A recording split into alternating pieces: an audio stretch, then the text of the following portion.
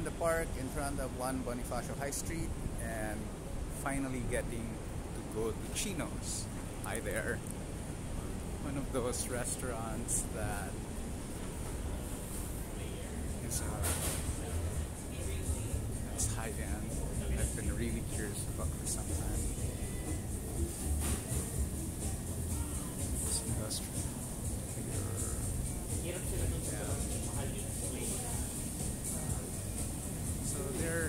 specialty is Mexican Japanese fusion with a food today. It's going to be fresh, it's going to be tasty, it's going to have strong flavors.